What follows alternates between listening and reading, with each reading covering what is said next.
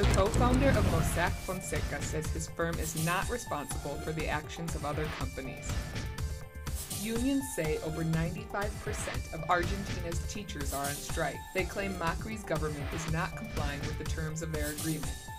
Protesters have demonstrated in Greece against the mass deportation of refugees began this morning. Fighting between Azerbaijan and Armenia over the Nagorno Karabakh region continues for a third consecutive day. 17 people have been killed in four different suicide bomb attacks near Baghdad. 64 have been wounded.